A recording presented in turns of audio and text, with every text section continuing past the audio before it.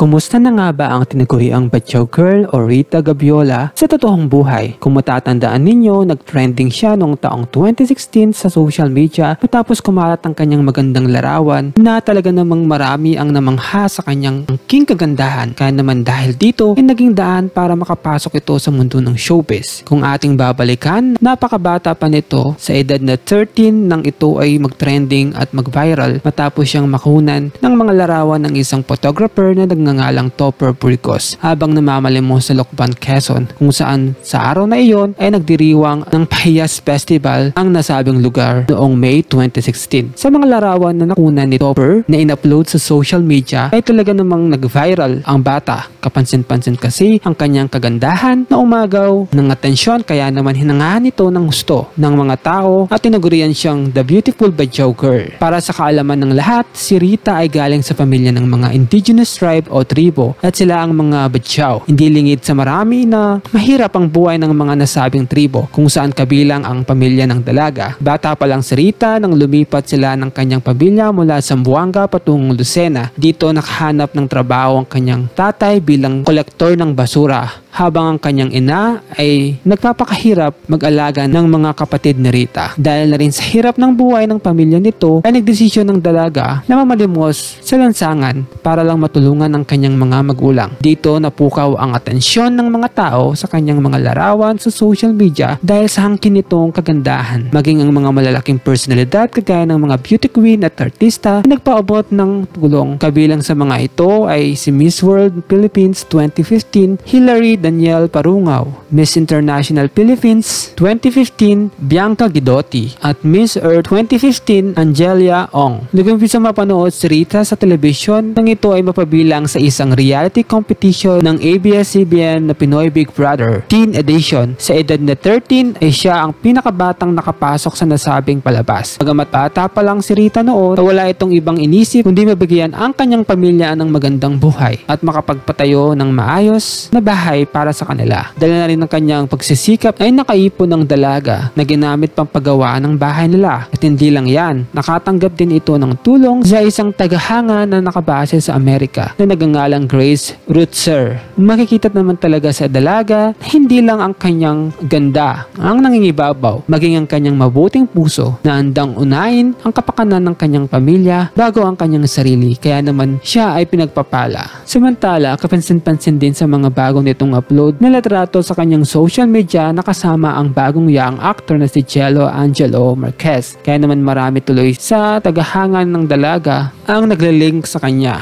Pero malaking palaisipin pa rin kung ano nga ba ang estado ng relasyon ng dalawa.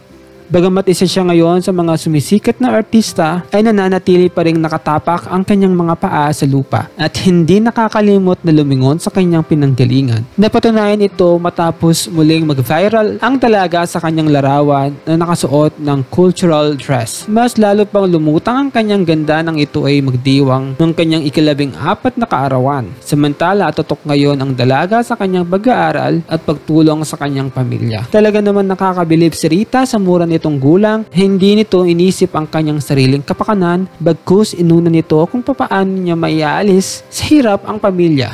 Kaya naman tuloy-tuloy ang suportang pinapaabot ng kanyang mga fans sa kanya.